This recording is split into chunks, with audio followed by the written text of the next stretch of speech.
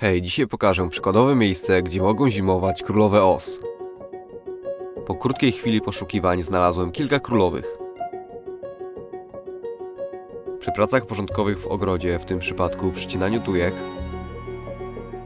wewnątrz starych tuj znajduje się dużo igliwia. Jest to idealne miejsce, gdzie królowe mogą spędzić zimę. Przy przycinaniu wypada dużo suchego materiału.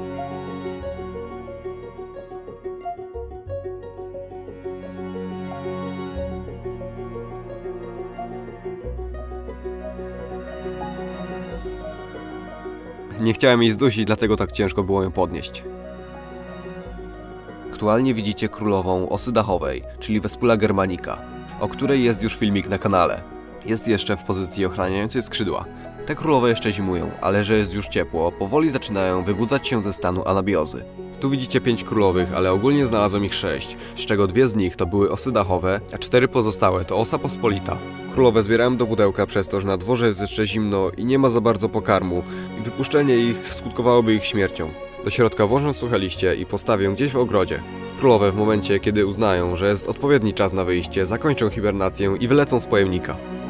Tu jeszcze takie krótkie ujęcia, pokazujące je z bliska.